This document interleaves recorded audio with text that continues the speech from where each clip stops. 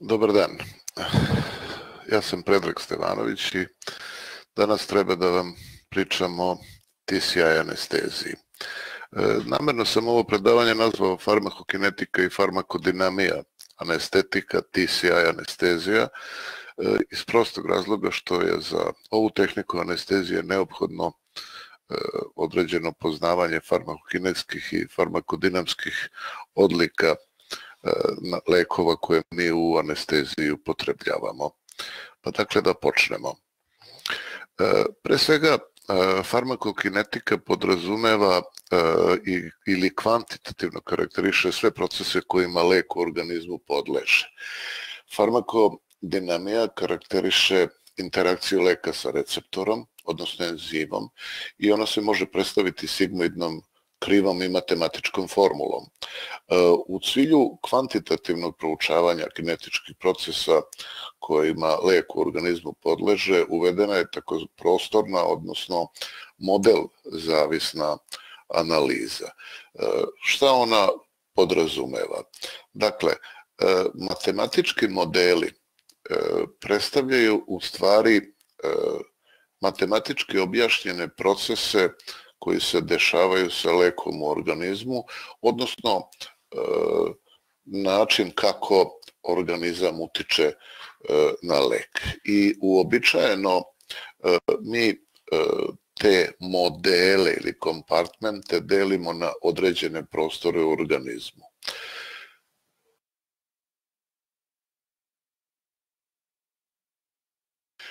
U prostornom modelu ili kompartment modelu, recimo, uobičajeno se krv ili mesto gde lek dajemo e, naziva e, centralnim volumenom distribucije leka i obeležen je obično sa V1.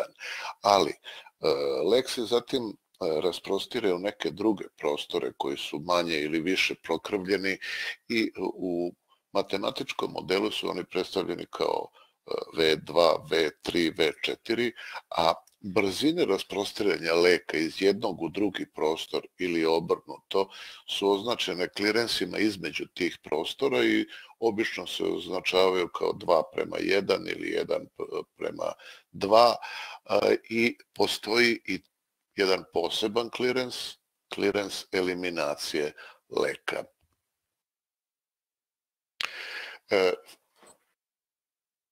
E, Ovde su uvedeni određeni farmakokinetski parametri koji treba da kvantitativno protumače e, dispoziciju anestetika u organizmu. Pre svega to je volumen distribucije, to su ove konstante brzine raspodele između različitih prostora, konstanta brzine eliminacije leka, poluvreme eliminacije i klirens leka koji se obeležava sa CL ili sa Q. E, treba shvatiti da su ovi volumeni i klirensi jednostavno matematičke konstante koje su izvedene iz jednačina koje upisuju u stvari plazma koncentraciju e, leka u vremenu. I evo e, da pođemo od jednog najjednostavnijeg E, jednoprostornog modela distribucije. Ako njega predstavimo kao jednu kantu sa određenim volumenom, kada u nju ubacimo određenu koncentraciju leka ili količinu leka, e, količinu, ne koncentraciju, onda ćemo E,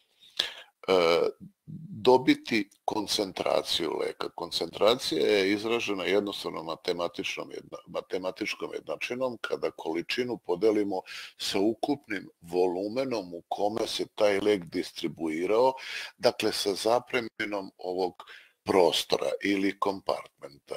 E, dakle, volumen e, distribucije reprezentuje diluciju leka u određenom volumenu i to je ta E, potrebna doza ili količina leka koja je potrebna da postigne određenu koncentraciju u ovom volumenu distribucije. Dakle, ovo je e, jednokompartmentski model.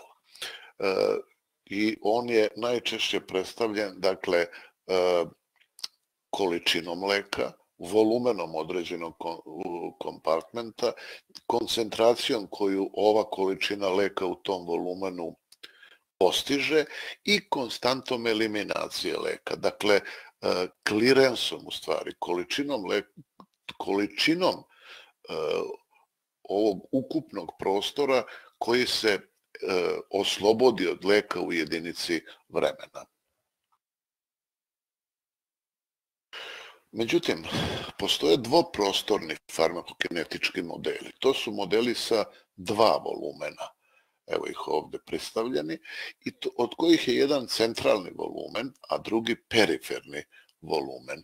ali tu sada postoje i dva klirensa.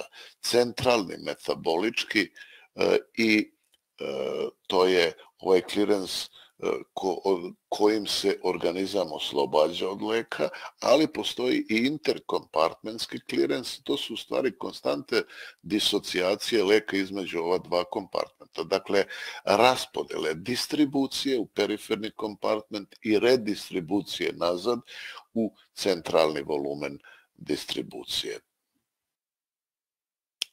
Međutim, e, najčešće se E, lekovi kojima e, se mi koristimo opisuju kroz troprostorni model. To, su, e, to je model sa tri volumena distribucije. Dakle, mi lek ubacujemo u centralni volumen distribucije, a on se iz centralnog volumena distribucije rasprostire u brzo ekvilibrirajući volumen ili kompartment i u sporo ekvilibrirajući volumen i kompartment. E, trokompartmentski model je u stvari najčešće dakle, korišćen model za simulaciju farmakokineskog profila lekova koje mi koristimo u totalnoj intravenskoj anesteziji. U ovom modelu centralni odeljak ili kompartment predstavlja krv ili plazmu. Druga dva odeljka su teoretska i e, predstavljaju brzo perfundujuće tkiva, odnosno mozak, i sporo perfundujuće tkiva, odnosno mišići ili mast. Ograničenja otvorenog trokopartnerskog modela se ogledaju u tome da on podrazumeva neposredno mešanje lekova među odeljcima, ali se to u realnosti praktično ne dešava. Model podcenjuje koncentraciju leka kada je sam input veliki, kada dajemo ogromnu ili veliku količinu i brzo ga dajemo, kao posle bolusa ili brze infuzije. Međutim, razlika između predviđene i izmerene koncentracije leka u krvi ili plazmi je u stvari u funkciji biološke variabilnosti i to model obično ignoriše. I na kraju, Velike varijacije u fiziološkom stanju pacijenta mogu uticati na farmakokinetski profil leka i na taj način smanjiti predviđajuće mogućnosti ovog modela. Ipak, iako ovaj model ima ograničenja, farmakokinetska variabilnost među pacijentima je svakodnevna činjenica sa kojom se anesteziolog sreće u svom radu. Parametri koji su dobijeni na osnovu proba sa ovakvim modelom se koriste za predviđanje koncentracije i efekata e, kod drugih pacijenata u različitom vremenu sa različitim dozama. Ako se model pokazao kao linearan, ovakav proces podrazumeva u stvari da je najznačajniji faktor odnosna doze i efekta sam lek, a ne pacijent. I ova pretpostavka je esencijalna, obzirom da većina pacijenata kojima mi dajemo anesteziju dolazi kod nas samo jednom. Nema dakle načina da se oni prethodno testiraju kroz uzorak farmakokineskog modela pri onom prvom, recimo, kontaktu, a da se potom pozovu na operaciju ili da sačekaju studijsko utvrđivanje farmakokineskih i farmakodinamskih činjenica koje bi onda omogućile izvođenje anestezije. Na sreću, ove pretpostavke su najčešće tačne za anestetičke lekove. Farmakokinetika intravenskih anestetika se odlikuje veoma brzom e, distribucijom i redistribucijom u nekoliko hipotetičkih odeljaka, dakle kompartmenta u organizmu, posle čega sledi eliminacija. Za proučavanje farmakokineskog profila intravenskih anestetika najčešće se dakle koristi ovakav trokompartmentski model, model sa tri odeljka.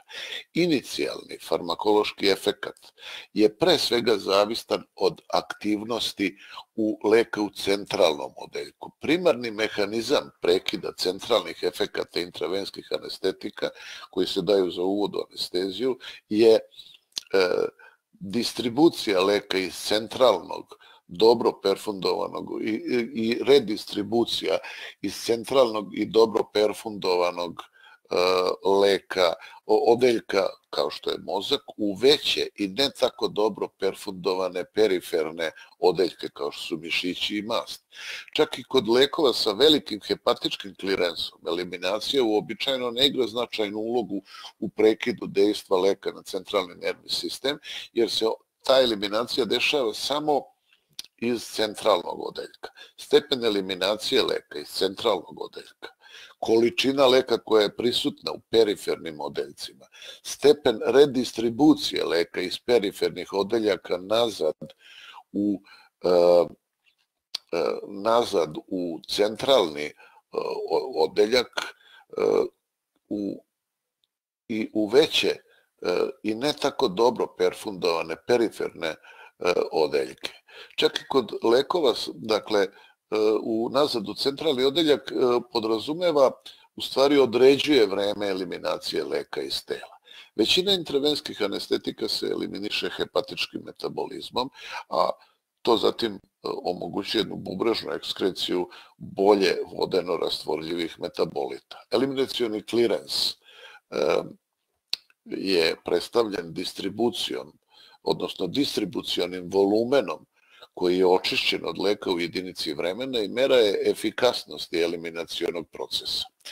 Potrebna je pažljiva titracija leka da bi se posle prolongiranih infuzija izbegla akumulacija. Iako je, e, iako je poz, poznavanje poluvremena eliminacije značajno za dobru titraciju brzine, odnosno željenog efekta i adekvatnu anesteziju, brzina davanja infuzije leka – Mnogo bolji rezultati se postižu razumijevanjem nekih drugih farmakokineskih pojmova o kojima ćemo govoriti nešto, nešto kasnije. Dakle, e, pored ovog trokompartmentskog odeljka postoji još jedan e, oblik prikazivanja raspoređivanja leka u organizmu. To je takozvani trokompartmentski model sa dodatnim prostorom biofaze. Biofaza je mesto ili efekt site, e, mesto dejstva. To je e, dakle, pre svega centralni nervni sistem na koji mi delujemo sa našim lekovima koje koristimo u anesteziji i to je takozvani troprostorni model sa prostor, dodatnim prostorom biofaze. E, I e, mi tu sada možemo računati distribuciju leka u biofazu kao i redistribuciju iz biofaze i na osnovu toga možemo sračunati koncentracije leka u vremenu u samoj biofazi i utvrditi recimo kao ovde na slici kako se može i kada se može očekivati najveća koncentracija i efekat posle određenih lekova. Na primjer, posle remifentanila se za 1,6 minuta posle davanja može očekivati maksimalna koncentracija leka u biofazi. Posle alfentanila za 1,4 e, minuta, posle fentanila za 3,6 minuta e, i posle sufentanila za 5,6 minuta.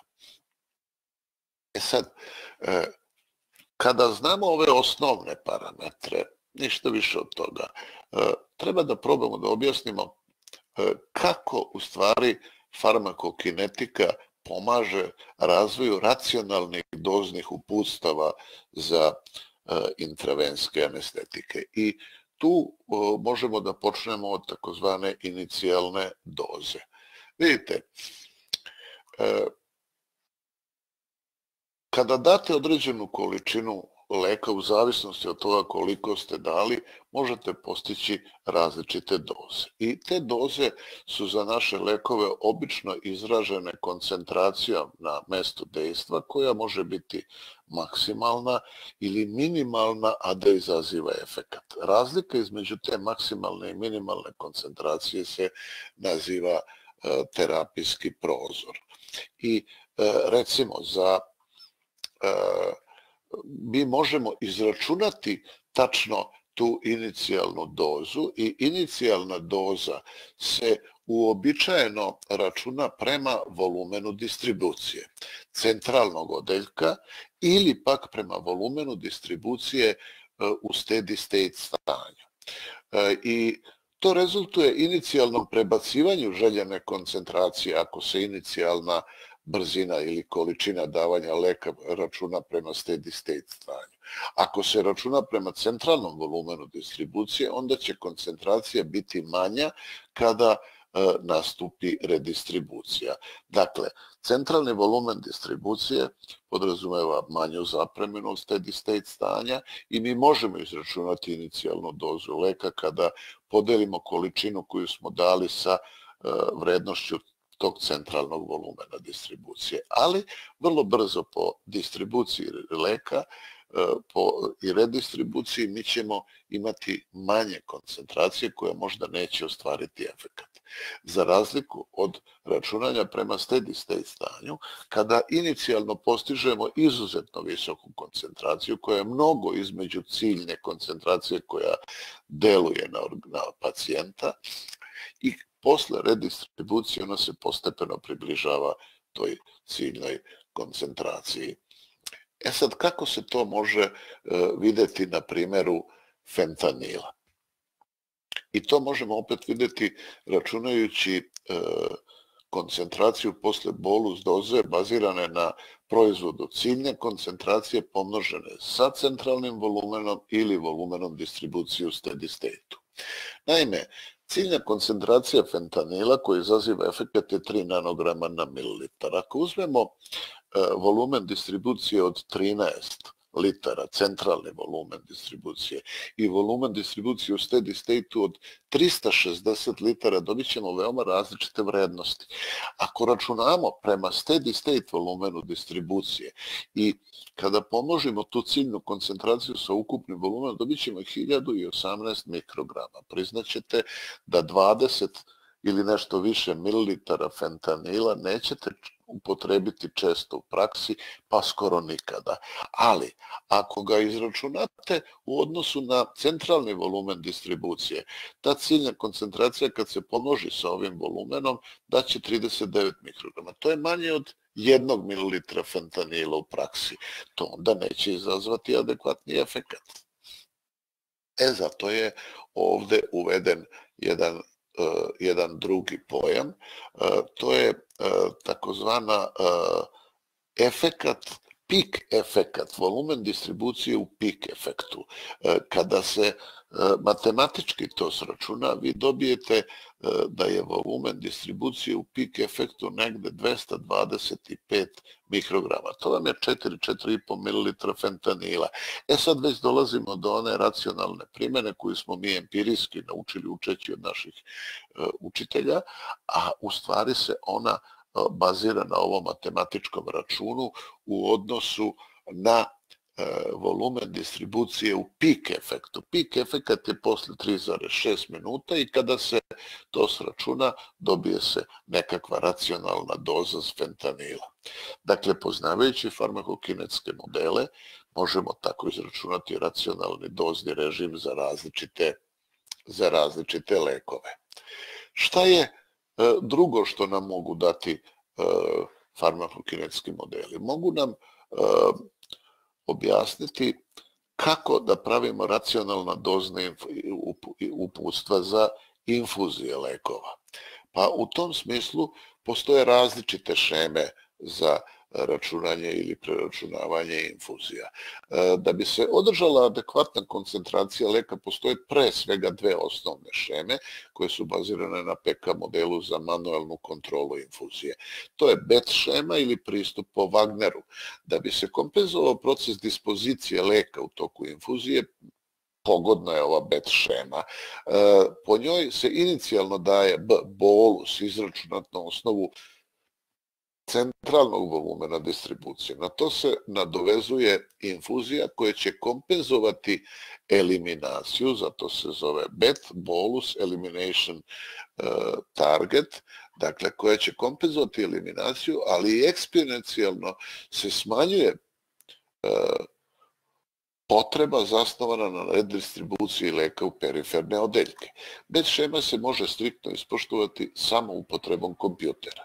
Međutim, onda je Wagner pretpostavio mnogo praktičniju šemu za manualnu kontrolu infuzije. To je takozvana dvostepena infuzijona šema i ona se obično nalazi inkorporirana u standardnim infuzionim pumpama. U ovoj šemi se počinje sa brzinom infuzije koja će popuniti volumen distribucije leka, zatim se infuzijona brzina određuje izabranom koncentracijom leka u centralnom kompartmentu i njegovom eliminacijom.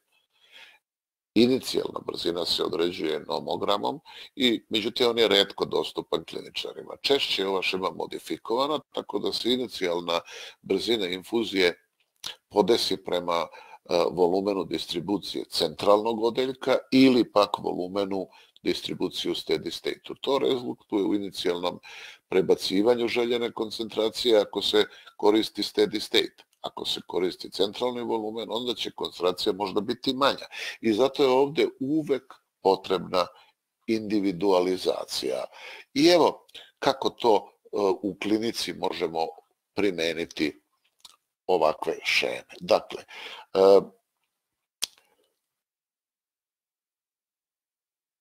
koncentracija leka u steady state u plazmi zavisi od je jednaka količniku infuzije i klirensa. Infuzija je jednaka koncentraciji puta klirens.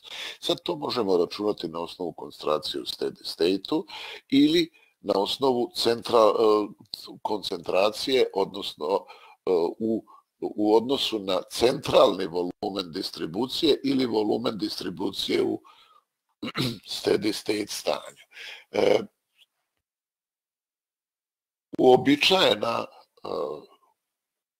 formula podrazumeva, dakle, proizvod koncentracije leka i klirensa, odnosno količine leka koji se očisti iz organizma. Međutim, da bi ona mogla e, da se efikasnije predvidi, ta jednačina mora podrazumevati i određene konstante distribucije i redistribucije između različitih odeljaka i priznaćete da ovo onda nije uopšte jednostavan način za praktičnu upotrebu i za doziranje leka, ali takvi matematički modeli mogu da se inkorporiraju u određene pumpe koje opet nisu preterano kompleksne i onda na osnovu tih modela mogu da se e, kreiraju infuzijone šeme.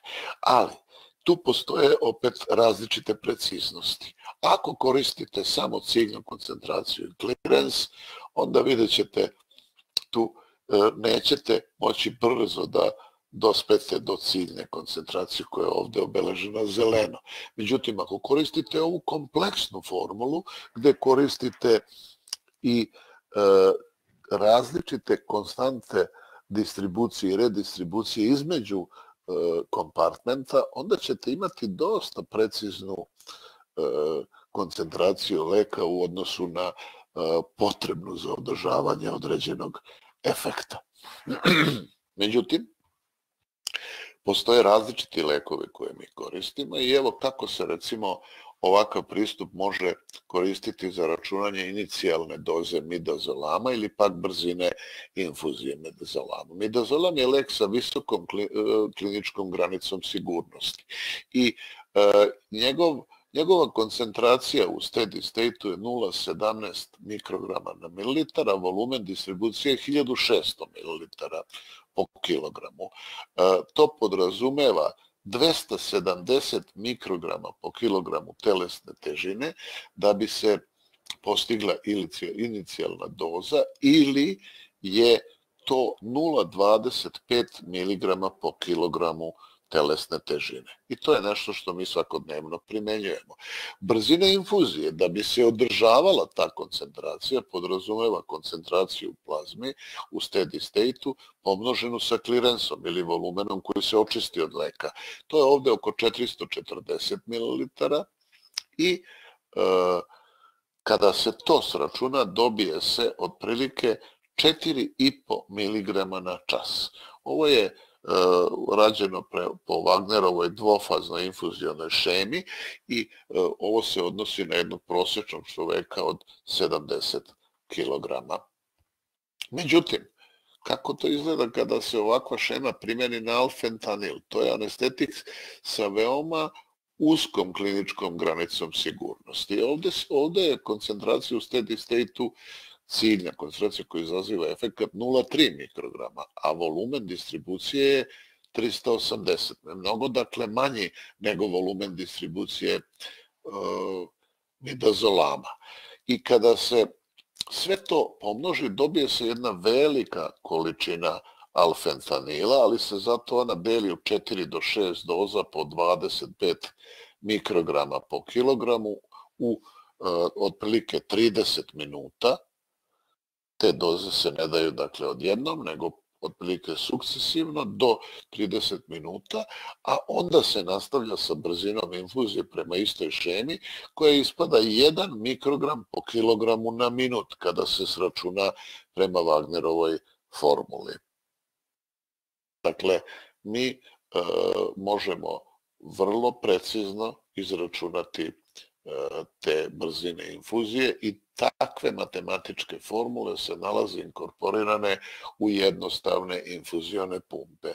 U samoj kliničkoj praksi se nekada možemo koristiti doznim nomogramom za održavanje infuzije nekih anestetika gdje možemo da vidimo kako za različite anestetike izgleda brzina davanja, brzina davanje infuzije do maksimalne stabilne koncentracije u odnosu na vreme od početka samog davanja infuzije. Ali priznaćete da je za jedno praktično izvođenje anestezije ovakva šema e, je vrlo rogobatna, dakle neprihvatljiva i mi eventualno e, tu šemu možemo koristiti kada radimo nekakve kliničke eksperimente. I evo, ovdje smo završili uh, uvod u ovo predavanje o TCI anesteziji, a nastavak sledi u drugom delu. Hvala vam na pažnji.